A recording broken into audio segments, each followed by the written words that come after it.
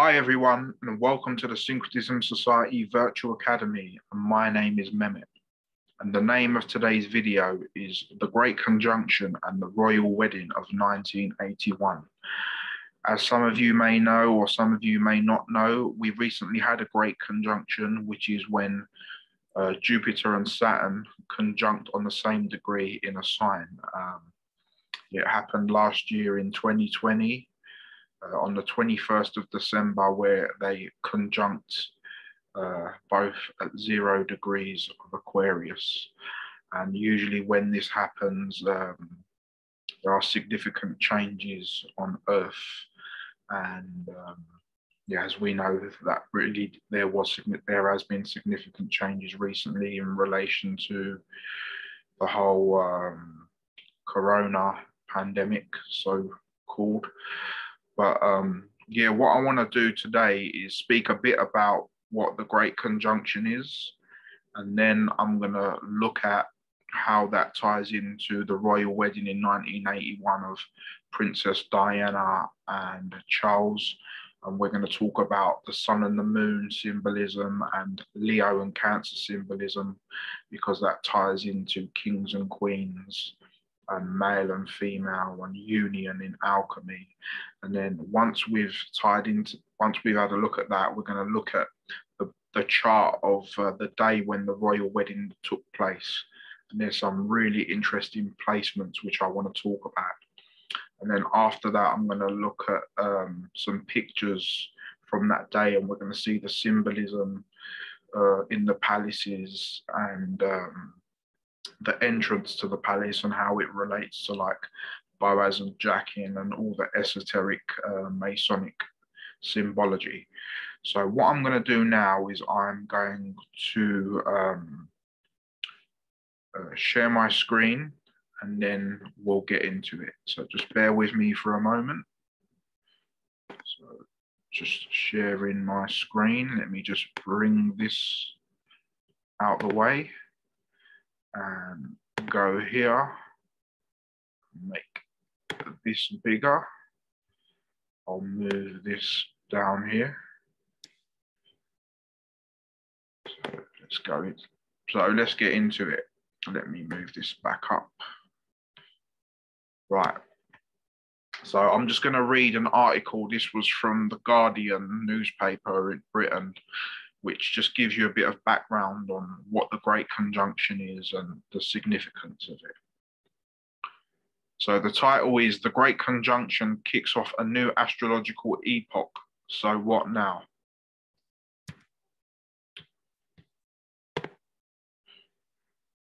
On Monday, Jupiter and Saturn, which are actually more than 400 miles apart, will appear to come together in the night sky forming what is called a great conjunction. This is one of the series of meetings the planets make roughly every 20 years due to Jupiter's orbit of less than 12 years around the sun, lining up with Saturn's, which is 29.5 years long. On the night of the conjunction, the planets will seem as if they have separated by about one fifth of a diameter of the typical full moon appearing to touch or form a single brilliant heavenly body. Besides the visual dazzle, the event has special significance through an astrological lens.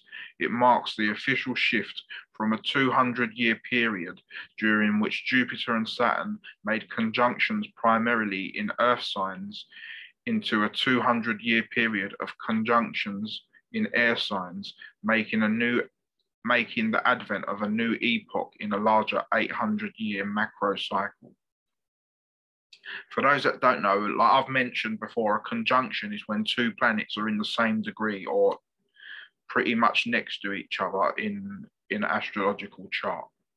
And yeah, and here it spoke about how uh, previous to this one, most uh, conjunctions of uh, Jupiter and Saturn were in Earth signs, whereas now it's switching over to air signs, and that has some significance, but that will be in the next part I read.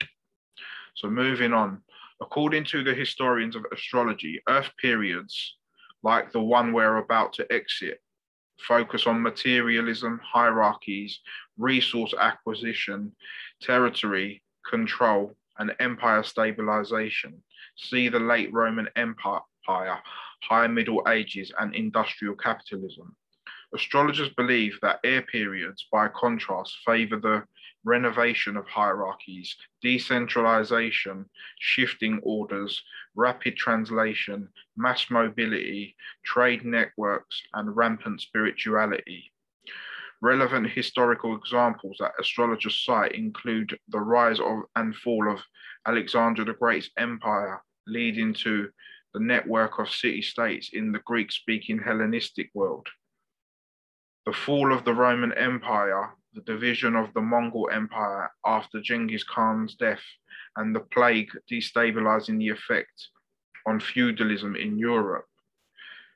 Thematically, air periods tend to foster information ages that focus on the intellectual, the immaterial, and the ideological, though not necessarily in a peaceful manner. So that's very interesting how it's talking about when we had great conjunctions in earth signs, the theme of the changes were all materialistic. But since they've happened, when they happen in air signs, uh, the changes are more of a spiritual nature. And it's very relevant to what is going on today, because obviously, this is why they're trying to uh, make us have vaccines and like push fear into us because they know we're coming into a spiritual awakening. And if we come into a spiritual awakening, this is this doesn't work into the hands of the elites and the people who control us because once we get in touch with our spiritual selves, we can see that we've been fooled and um, we get to know ourselves and become a better version of ourselves. But that doesn't suit the system because the system need us to be more materialistic so we can buy their products so they can um, benefit and make profit from. So I'll just move on to the next part. Sorry, that was a bit of a long-winded explanation, but I thought I'll just touch up on it just to give you guys a bit more insight rather than just reading it. So moving on, thinkers have used the Jupiter-Saturn conjunctions to track the history for thousands of years. Johannes Kepler's early 17th century trigon diagrams and famous ephemeria from the beginning of our current macro cycle, Jupiter and Saturn are the slowest and furthest away of planets available to the, to the naked human eye. And the function of and the function as the short hands of the astrological clock. Sketching the broad strokes of an era, in astrological term, Jupiter signifies expansion, growth, and coherence, but can also lead to cancerous hypertrophy, Saturn represents the opposite principle of limitation, structure, containment, and often considered a cruel taskmaster of the zodiac. Together, they are like life and de- death, rap and weft, and their conjunctions signal key moments in the formation of the collective reality, exactly, which is what I said before I started reading this. So I would say it's interesting that uh, this time round is conjunct in the sign of Aquarius. And Aquarius is a very humanitarian sign. It's the water bearer. It's about spirituality. And it is ruled by Saturn, which gives it an extra kind of strength, if that makes sense. But here it explains how uh, Jupiter um, signifies growth and expansion. So for me, that symbolizes the spiritual side, whereas Saturn symbolizes limitation, structure, and containment. So this connects with the whole social distancing thing and uh, staying in home and not going next to someone. So it's like that's like kind of that whole idea is based upon Saturn. So that was just a quick introduction into what um, the Great Conjunction is, and just a little brief history on it. So moving on now, I want to show you a clip from uh, a movie called The Dark Crystal, which was made in the late, uh, no, in the early, I think it was the early mid um, 1980s. And for anyone who hasn't watched this movie, I know that all the people in the Syncretism Society would love this movie. It's basically about um, the struggle between the elite and the spiritual people. And you have uh, a group called the Skeksis, who are the people that rule the planet and who are the kings and queens. And then you have the mystics, who are the spiritual people. But there's a scene in here where they actually talk about the Great Conjunction and the significance of it. So, what I want to do, I'm just going to play you this clip. It's three minutes long and uh, it's a very good clip.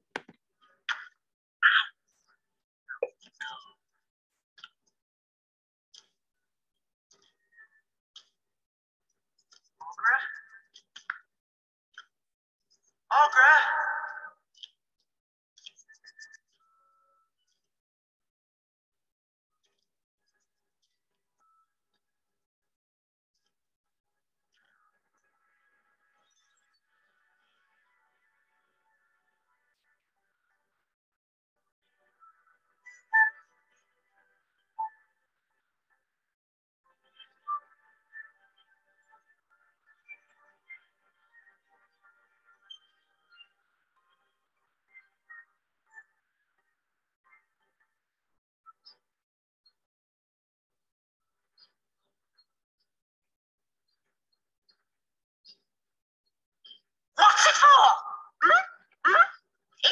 you want to know? You want to know what this is all about? Is that it, Goatly? You don't know? You've never looked at the heavens. Everything in the heavens is here, moving as the heavens move. This is how to know when. That's what suns, moons, stars, yes, the angle of eternity. That's how I know it's coming. How else can I make the prediction? A thousand years ago, there was a great conjunction. I was there. Three suns lined up. That's when the crystal cracked. That's when the Skeksis appeared. And the Mystics. Another great conjunction coming up. Anything could happen. The whole world might burn up. End of all. Better have your shower before that, Gelfling. Now, ask what the Great Conjunction is. What's the Great Conjunction? What's the Great Conjunction? You tell me. The Great Conjunction is the end of the world! Oh, the beginning? Hm. Hell, begin, all the same, big change. Sometimes good, sometimes bad. Ah, there it is. Conflict knows nothing. Aughra, what do I do with the shard? Heal the dark crystal. But how? Questions, questions, too many questions. You want a shard? Here.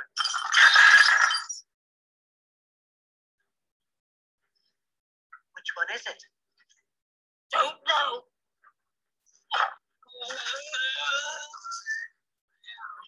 Don't know. Listen, Gelfling. There is much to be learned, and you have no time.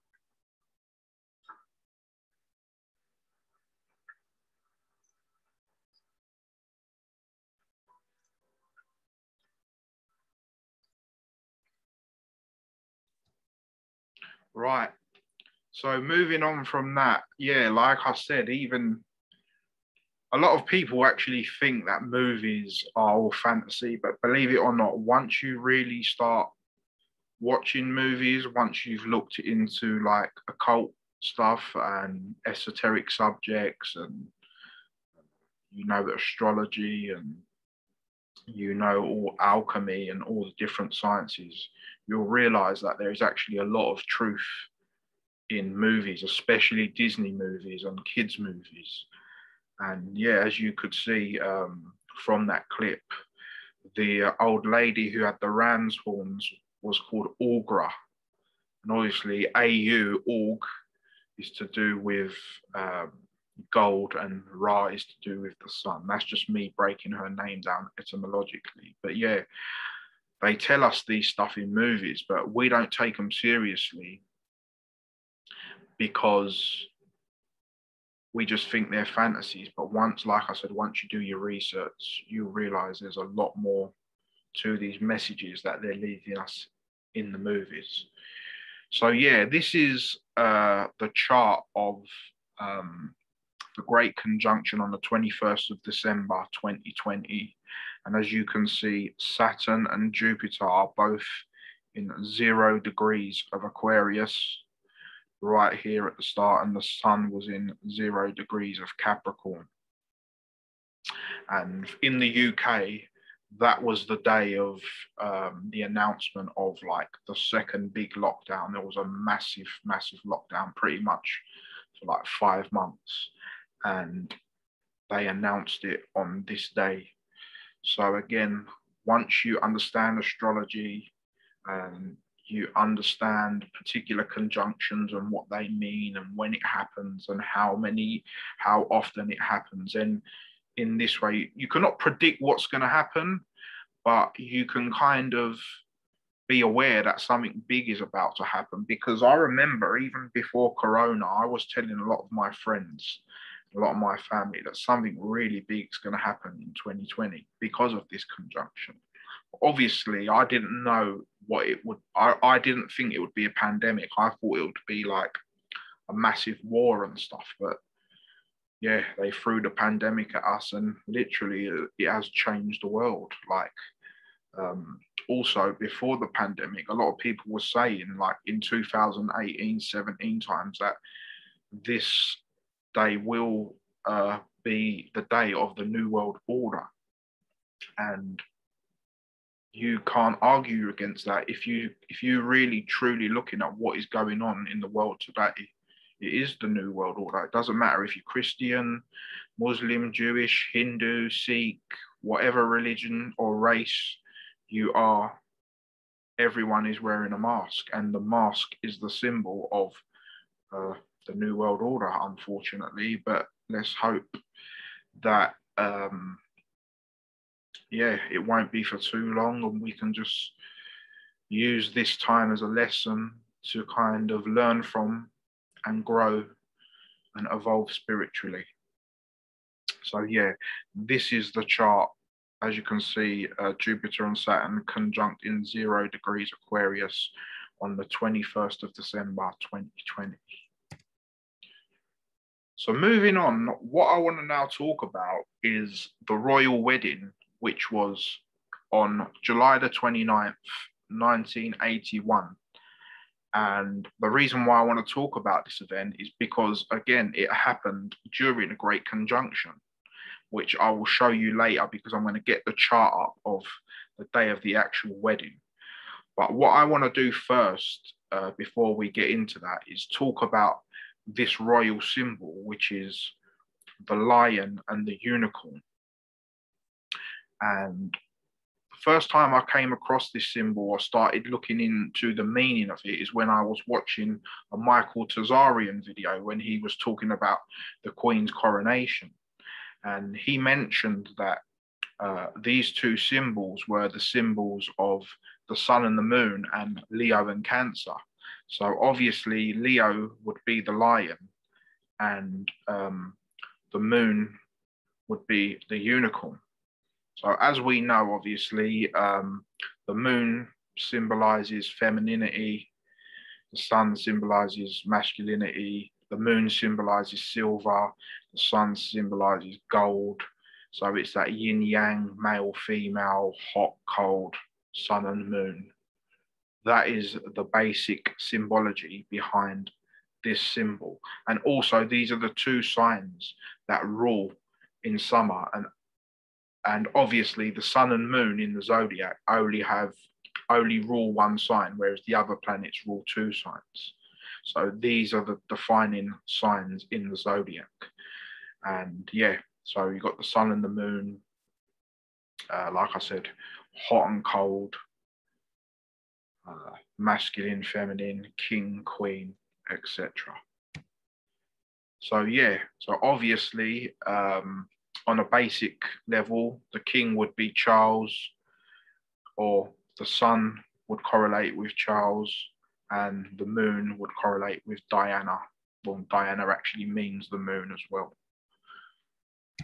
So yeah, moving on, as you can see, this is old um, description. I think it's done from the artist Johfra Bosschart. Who's, I'm going to use a few of these pictures. Who does like paintings and artworks in relation to the occult. And if I can, if I'll zoom in here, you can see here the masculine uh, male has the crown, who's the king on the side of the sun, and then you have the feminine on the side of the moon, and in the middle here you have the union of the two, which would kind of correspond with like the Ida and Pingala or Mercury, the the hermaphrodite.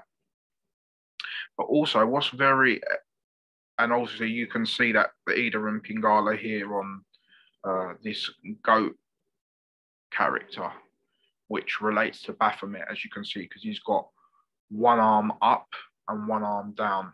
This is a symbolism of uh, heaven and earth. It's a union of male and female um, spirituality and matter, etc. But the reason why I'm showing this image with this goat, because once I show you the next image, this was actually um, the mascot for the royal wedding in 1981, ironically. So yeah, again, I'm just going to show you like some memorabilia in relation to the royal wedding and showing you again how it connects to the whole Leo Cancer uh, male, female, sun and moon, gold and silver. As you can see, you got on the side of Charles, you have Leo, the uh, you have the lion, which is the sun, and then on the side of Diana, you have the unicorn, which is the moon. And again, we can see uh, this is an old alchemic uh, illustration. You see pater, which means paternal. You see sol, which is the sun. And then you see mater, which is matter, mother. And then you've got Luna here. Again, this was the official program of the royal wedding, which was the royal symbol, which here where it says Ich Dien, that means I serve. So what I want to now do before I get into the actual chart of the royal wedding is I want to read a bit about Leo and the lion and how it relates to the king and the sun. And then I want to read a bit about um, the unicorn and how it relates to the moon and cancer. The, the sun lion bit will be short because that's common knowledge, but a lot of people don't know that the unicorn relates to cancer and the crab and the moon. So that bit will be a bit longer. So I'm just going to read a bit about the lion and the myths of a lion.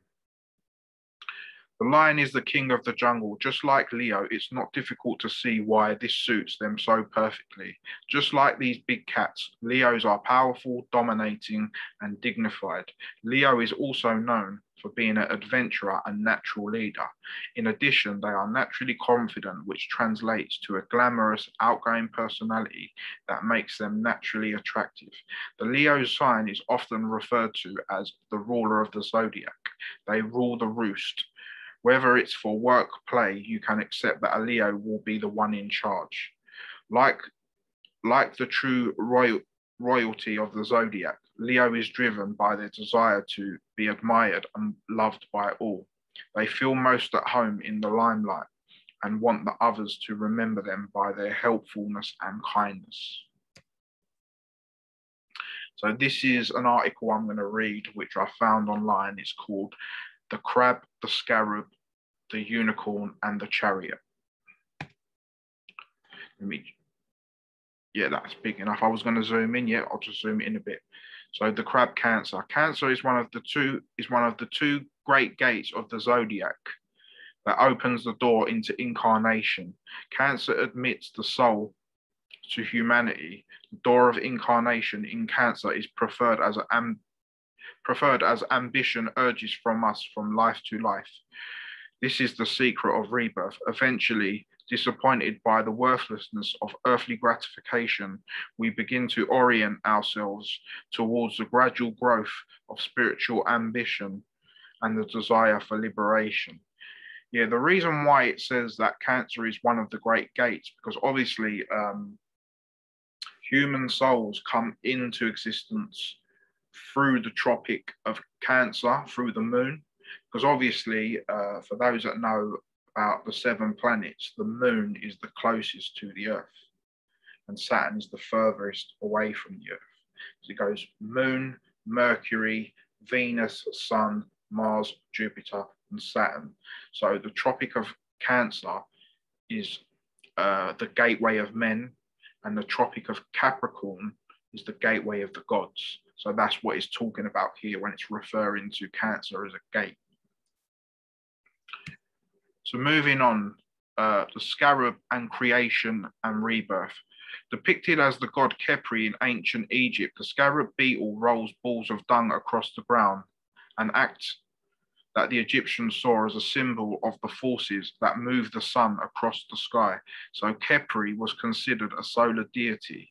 Young scarabs having seen laid as eggs within the dung ball emerge from it fully formed.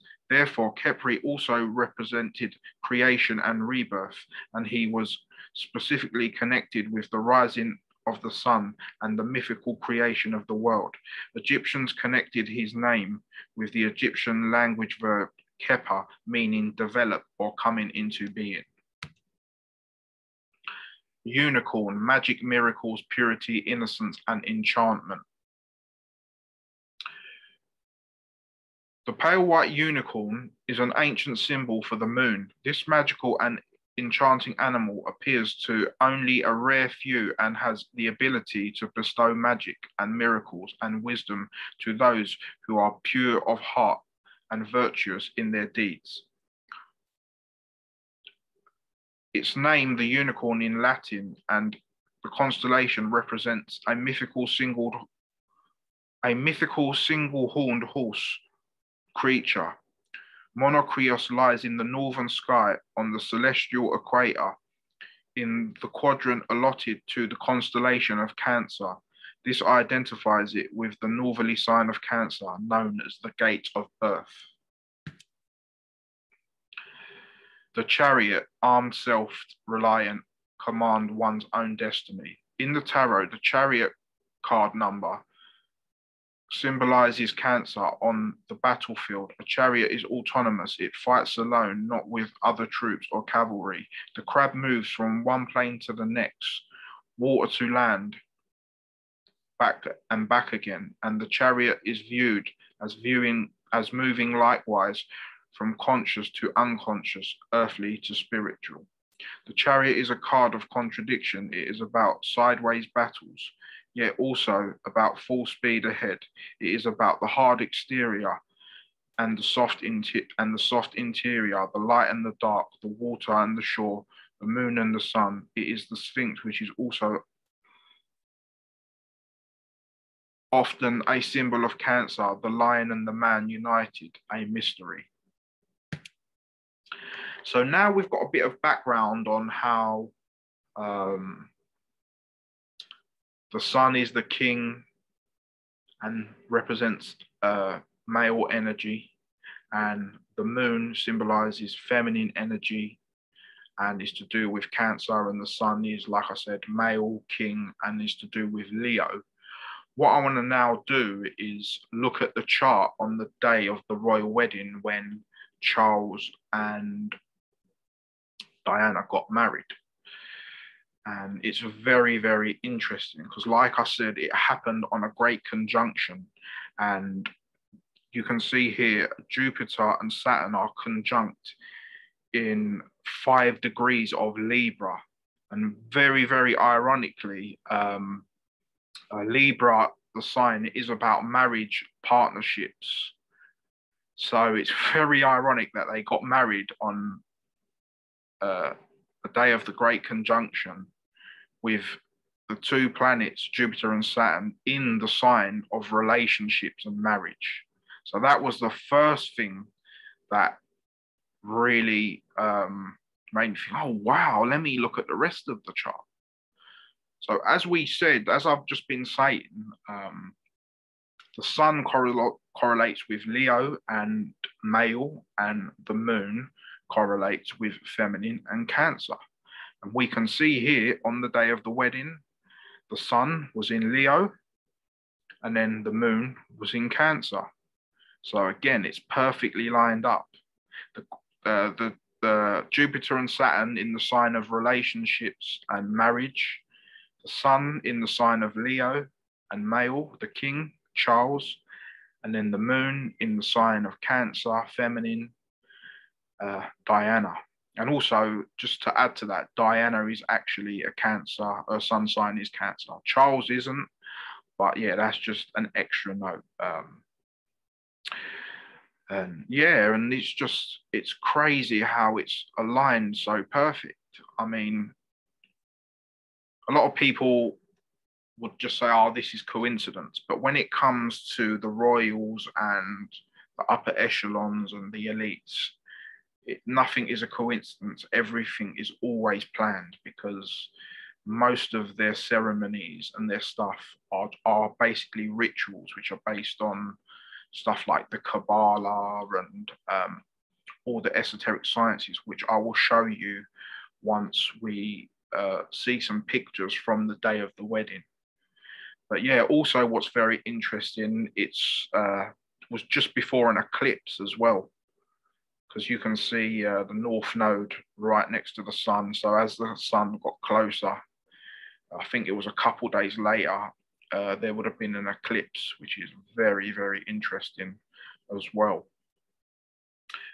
So yeah, like um, it was looking at this chart which got me to do this whole video uh, in the first place because I was looking at great conjunctions and I thought, oh, let me go back and see what major events happened during other great conjunctions. So I looked at 1981 and the royal wedding came up. So then I thought, let me look at the chart and see if there's anything interesting. And as you can see, it makes total sense for anyone who understands esoteric knowledge and astrology and what each sign means and where particular planets are placed and rulerships, it makes total, total sense. So, uh, yeah, like I said, the elites and the royals and the upper echelons, all of their stuff is based on esoteric knowledge in relation to astrology, the heavens, uh, masculine, femininity, masculine and femininity, balance, duality, unity. But unfortunately, they um, use it in a negative way. And uh, this is something called the Royal Arch, as you can see here. Uh, the arch would correspond with, in theology, the ark or the ark of Noah. And this is the top half of the zodiac, which is spring and summer. As you can see, Aries, Taurus, Gemini, Cancer at the top, and then Leo. Like I said, you've got Cancer and Leo next to each other, all in the summer, and then you've got Virgo and Libra. And then you can see this again in um, art in relation to uh, the royal arch and the two pillars of Boaz and Jachin. And as you can see, the sun and the moon, uh, which would be king, queen, male, female, Di- uh, Charles, Diana, etc. And then also you can see here the tree in the center of the garden, which is very interesting. So this part, what I'm doing is like I'm showing one picture from the day of the event and then a corresponding piece of art that connects with it. So yeah, I'll just mention the Royal Arch. This is just a little quote of what the Royal Arch is. In England and Wales, there is a inducible link craft between Freemasonry and the Royal Arch, with the Royal Arch being considered the completion of the Freemasons' journey in pure ancient astrology. So as you can see, let me zoom this picture in here. You can see here, this is a picture from the day of the wedding. It's a group picture. You can see the two pillars uh, in these gold bits here, and you can also see one there and one here. And as you can see, you can't see the full picture, but you can see that this part here is there's an arc, which again corresponds with this arch or arc, which is the royal arc. And at the top symbolizes strength, which is why uh, it connects with like the strength being Cancer and Leo, the the strength in because that's the um, that's when the sun is at its uh, strength because this is the hottest part of the year. Oh yeah, also moving before I go on to that, um, as you can see here, there is like a acronym or an abbreviation, HTWSS TKS. And what this stands for is Hiram Tyrian, widow's son, sender forth King Solomon. And it's interesting that um, the whole royal uh, families, rituals, and the wedding and everything, their buildings are based on the royal arch and the two pillars of Freemasonry. And it's interesting that um, Charles actually ended up being a widow, which actually gives me a bit more suspicion that we well, we all know that the whole Diana thing was a setup, but once I realized how all the rituals and all the ceremonies are connected to Freemasonry, this Hiram Tyrian widow son, sender forth King Solomon, makes even more sense now. Obviously, um, Charles is not a widow, he's a widower, but it's the same thing basically. A widow is a man who loses his wife. So again, you can see the whole the whole thing is just one big ritual based on esoteric science and astrology.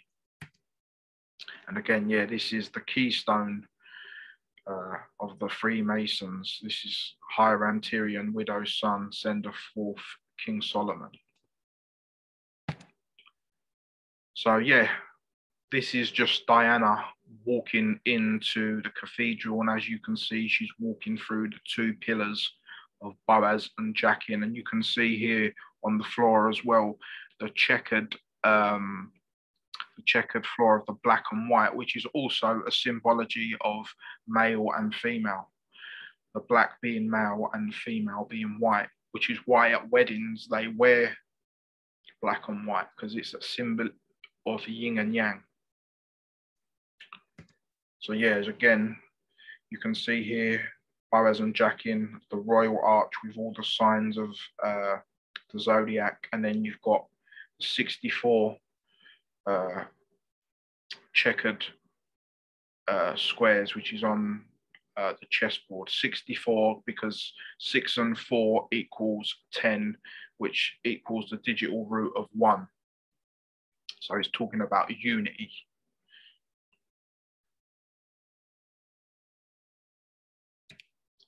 Yeah, again, again, you can see Charles here walking into the cathedral with the checkered floor. Again, this is a Freemason uh, apron. You can see again, Boaz and Jachin. You can see the moon and the sun. And you can see the checkered floor once again. Again, Charles standing next to uh, the checkered floor. Another Freemason uh, piece of art with Boaz and Jachin, uh, the sun and the moon, checkered floor, and this is the all-seeing eye. Uh, again, we can see uh, another shot of Diana going through the two pillars yeah, this is from an artist called Johfra Bosschart. Uh, if you haven't checked out his work, you must do. He's got a whole series on the zodiac where he does a piece of artwork for each sign. This is amazing. This one is actually for Libra, and you can see the sun and moon symbology, symbology of um, in relation to balance and relationships and male and female, etc.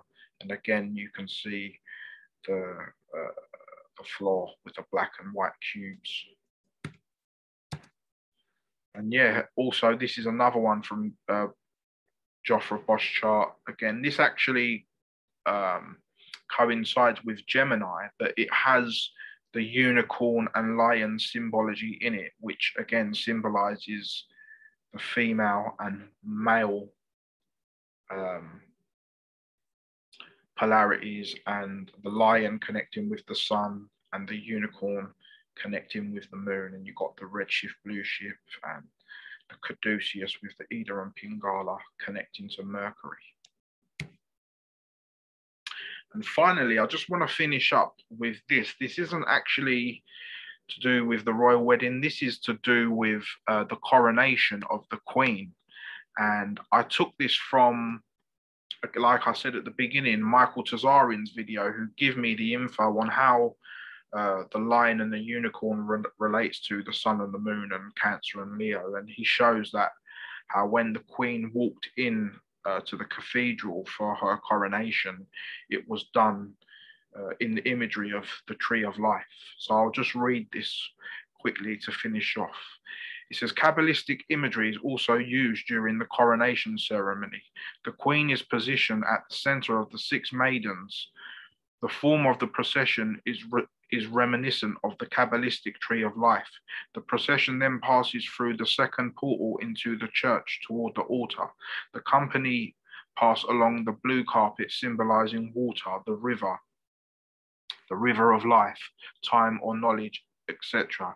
Interestingly, the word Hebrew means men of river. So let me stop sharing my screen.